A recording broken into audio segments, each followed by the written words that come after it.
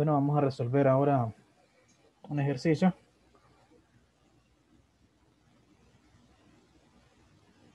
En el que vamos a utilizar o vamos a utilizar todas estas reglas que están acá arriba. Entonces, eh,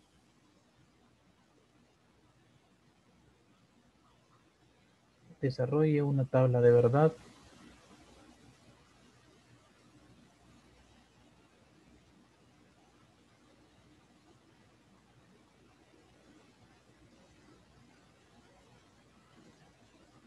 Para determinar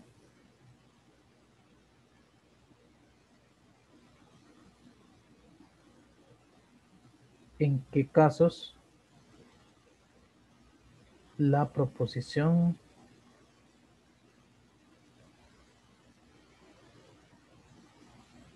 Q y no R implica P.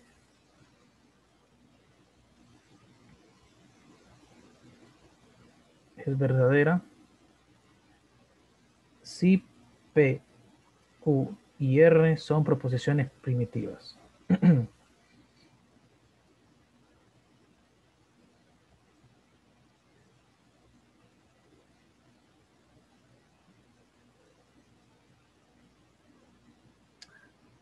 Ok. Entonces, eh, bueno, aquí lo que tenemos que hacer es construir una tabla de verdad de manera que podamos obtener esta proposición compuesta. Podemos ver que es compuesta porque hay una, hay una conjunción, hay una negación, hay una implicación. Entonces, como en la, eh, siempre que eh, tenemos la presencia de conectivas lógicas, entonces es compuesta. Entonces tenemos que utilizar estas reglas de arriba que estuvimos discutiendo hace poco. Entonces, bueno, ¿qué es lo que nosotros necesitamos? Necesitamos mis tres proposiciones primitivas, P, Q y R. P, Q y R. Y lo primero que vamos a hacer después de esto, o después de determinar o de plantear nuestras proposiciones primitivas, es ir construyendo paso a paso la proposición compuesta. ¿Y de qué manera? Siempre empezando del, desde el paréntesis más interno hacia afuera. Entonces aquí tengo una conjunción, pero esta Q eh, ya la tengo determinada, pero esta última parte no. Entonces tengo que entrar en este paréntesis de aquí. Dentro del paréntesis tengo una implicación. Y la implicación es de la proposición no R, que es compuesta, y, y P, que ya está determinada. Es decir, cuando digo determinada es que ya la puse en mi tabla de verdad. Entonces, lo, eh, lo primero que tengo que colocar para poder empezar es este no R.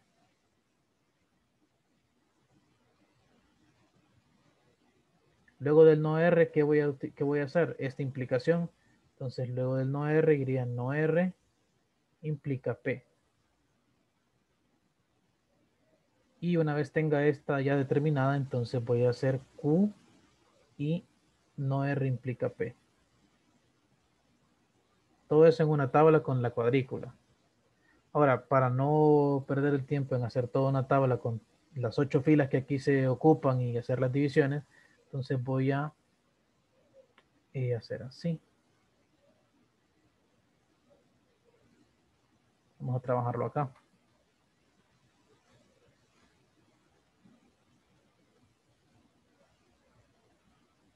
Pregunta, ¿este ejercicio es del libro? Y si es del libro, ¿qué número es?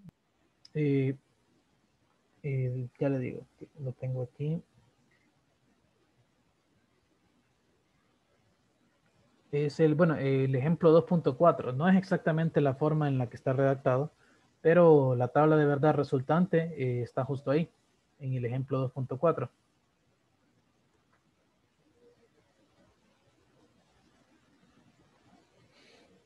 Ok. Entonces, bueno.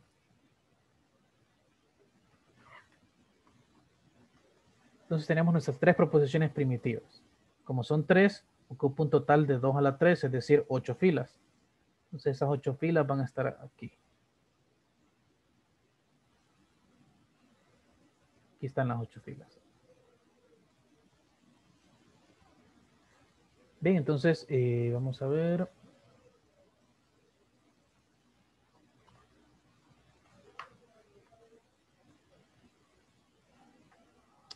Listo. Entonces, eh, ¿cómo vamos a llenar esta tabla con la parte de las primitivas? Como les había comentado, la mitad van a ser falsas. Es decir, yo tengo que colocar cuatro ceros, luego cuatro unos. Mitad y mitad. Luego en Q voy a agarrar, ¿sí? Eh, en las tareas podríamos poner verdadero o falso en vez de 0 y 1. Eh, sí, no, por eso no hay problema. Bien. Eh, entonces, eh, vamos a ver. Ahora, para Q, voy a tomar estos cuatro primeros ceros, estos cuatro ceros de aquí, y la mitad de esos van a corresponder a ceros, la mitad van a corresponder a unos. Es decir, 0, 0, 1, 1. A ver, este, ¿por qué no está así? Ahora, de estos unos voy a hacer exactamente lo mismo. La mitad van a ser ceros y la mitad van a ser unos en Q. ¿Sí? ¿Sí? Pero no hay problema si yo intercalo el 1 con el 0 y el 0 con el 1, no hay problema, siempre va a ser el mismo resultado al final de la tabla. Y habría que ver exactamente cómo. Eh, porque, bueno, yo considero que así es la forma más ordenada y de asegurarse que no están, que están todos los casos. Eh, porque justo lo que viene en la, en la R ahora es intercalarlos, pero sea, yo les recomiendo sí hacerlo de manera eh, un poco organizada, porque si lo van intercalando y luego viendo todos los casos, eh, puede, puede que repitan algunos. Eso básicamente, eso puede suceder. Ok, perfecto, gracias. Bien. Entonces ya aquí tenemos terminado Q. Ahora para R vamos a tomar siempre estos dos ceros, o sea, los, los, que van juntos vamos a hacer como este grupo y la mitad de ese grupo van a corresponder a cero, la otra mitad a 1. Ahora el siguiente grupo, la mitad corresponde a cero, la otra mitad a 0, 1 y así los demás.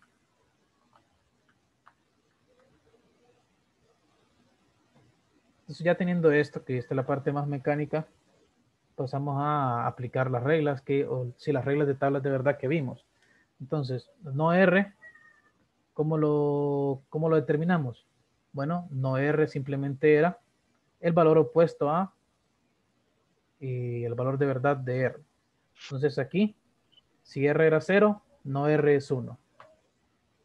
Si no R, perdón, si R es 1, no R es 0. Y así va. Entonces no R solamente cambia el valor de verdad. Ok. Ahora, la implicación. Y aquí es donde hay que tener eh, cuidado con, eh, con, la dirección. Porque aquí si se fijan, P está después del está antes, perdón, del no R. Entonces, eh, por eso es más importante recordar las, ¿cómo se llama? Los casos en los que es falso, hay que identificarlos para luego lo demás solo ponerlo verdadero.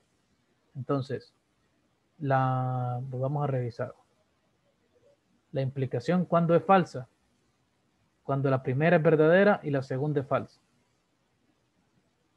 Entonces, si la primera es verdadera y la segunda es falsa, la implicación es falsa. En todos los demás casos es verdadera. Entonces, yo tengo que buscar primero los... Eh, vamos a ver aquí. Tengo que identificar los valores de no R, que son 1, y los que correspondan a ceros en P van a ser falsos. Es decir, 1 o verdadero implica falso ese es uno de los casos en los que este es falso. Ahora, aquí otro uno, otro verdadero. Eh, verdadero implica falso otra vez, este es falso. Aquí, verdadero implica verdadero, eso es verdadero. Verdadero implica verdadero, eso es verdadero. Una vez hicimos ese procedimiento, todos los demás ya se sabe que son verdaderos por el hecho de que eh, el no R es falso. Entonces aquí simplemente es identificar los casos en los que falso y los demás son todos verdaderos. Ok, ahora vamos a hacer la conjunción de Q y no R implica P. Entonces me centro solamente en estas dos columnas. Entonces la conjunción, simplemente nos fijamos, bueno, 0 y 0, o decir falso y falso, es falso. Falso y verdadero, falso. Recordemos que la conjunción, el i, ocupa simplemente que, eh, que ambos sean verdaderos para que el resultado sea verdadero. Entonces, verdadero y falso, falso. Verdadero y verdadero, eso es verdadero. Eh, falso y verdadero, este falso. Falso y verdadero, este falso. Verdadero y verdadero, verdadero y verdadero y verdadero, es verdadero. Entonces, ¿en qué casos resulta que esta proposición es verdadera? Pues en este caso de aquí y en estos dos. Pero bueno, el objetivo del ejercicio era construir la tabla de verdad. Ya con la, tabla de verdad hecha, se nota que los casos en los que son verdaderos son estas tres. Entonces solo hay que irlo haciendo de manera eh, ordenada y pues una vez planteado lo de arriba, lo demás es simplemente ir aplicando las lógicas, eh, perdón, las, reglas, de manera eh, lógica y tranquila. Entonces, ¿hay alguna duda con este ejercicio? Con esta construcción de la tabla.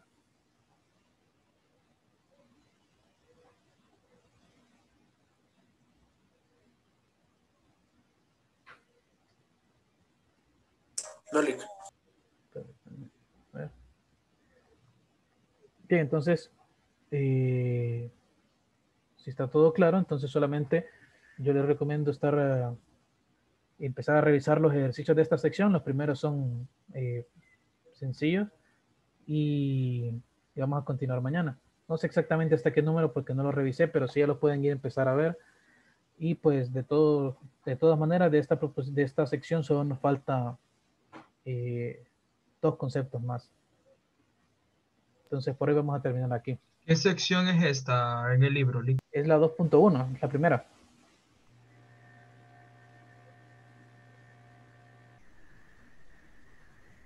Lick, hoy subiría el video anterior al campus. Sí, sí, no, o sea, no me acordaba que no los había subido. Ahorita los, los anoté en, en una listita de cosas donde me anoto las cosas para que no se me olviden y entonces hoy sí los voy a subir. Gracias, Lick. Este lo va a subir también, ¿verdad? Sí, sí, todas. Ah, bueno, gracias. Bueno, entonces eh, continuamos mañana. Tengan buen día. Gracias. Gracias, Lick. Buen día.